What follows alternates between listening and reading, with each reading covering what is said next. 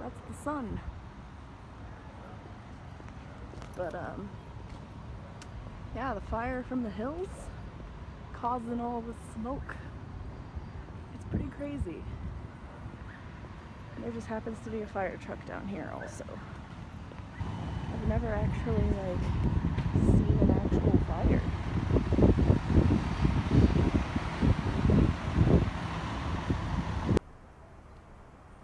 This is what happens when you have wildfires, I guess. Is all of this. It's been like this all day. I don't really understand because it's all so new to me. But it's just like burnt sky, regular sky. Burnt, regular.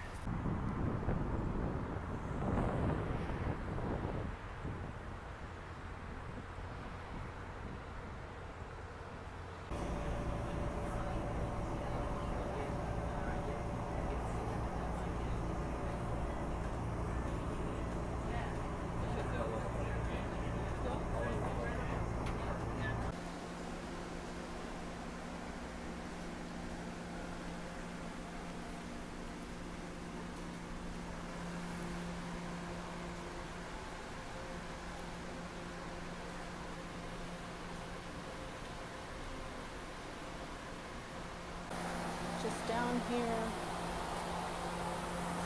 waiting for the metro to come.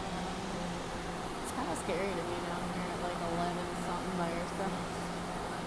But I had a really great time downtown. Didn't film any of it. But it's good.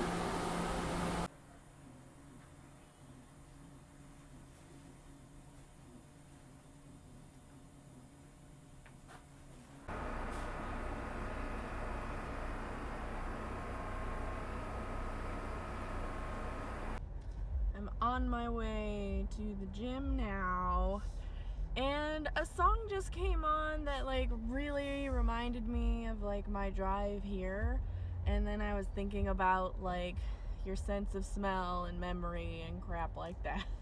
So I don't know. Uh it's just it's kind of weird to think how like desperate and lonely the song felt and how I felt driving here and I kind of felt those things. And I remember being in a hotel room in Vegas which like at the time I was like talking it up like when I came out here. But like it was really scary and it was really hard and it was not going according to plan and it was really difficult for me. And you know i just kind of had to deal with that the best that i could and i just remember being in a hotel room alone for a couple of nights which i needed and it just like i don't know it felt really scary and like a little bit desperate because it was something i was walking into that i had no idea what was going to happen next and it just needed to work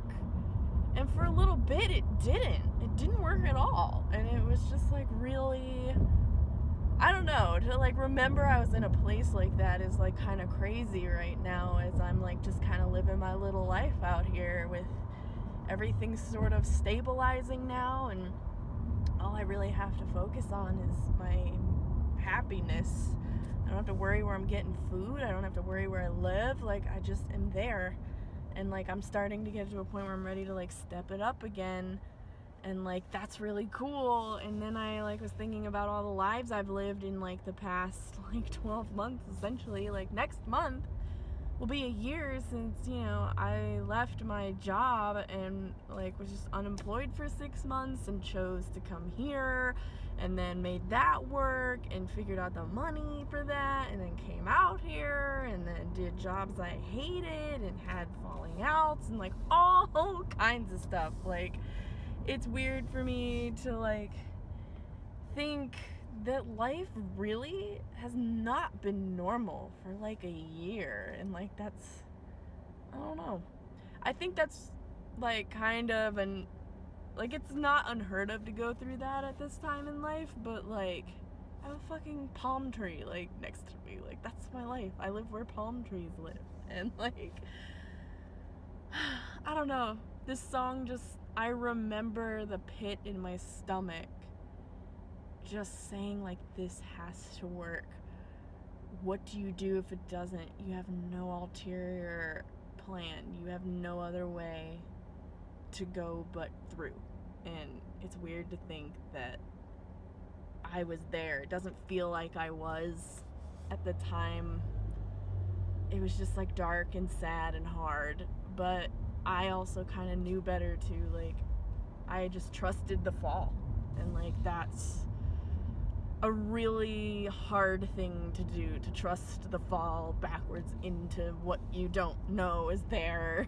and if something will even catch you or if it'll swallow you whole, like, you don't know. So, I don't know. I just thought that was noteworthy and wild. I don't know. But it feels good. Feels good to have a routine. It feels good to feel like I can do this. And it feels good that, like, slowly but surely, a social circle is coming around me to, like, lift me up and take on some of my weight. And it just feels really good. So, fuck yeah. Always like the first one to work. I live the closest, and I'm always like the first one here. I don't know what that's about. Also, I got this terrible haircut yesterday. It's the most uneven thing in the world, and we all saw how uneven my hair was before.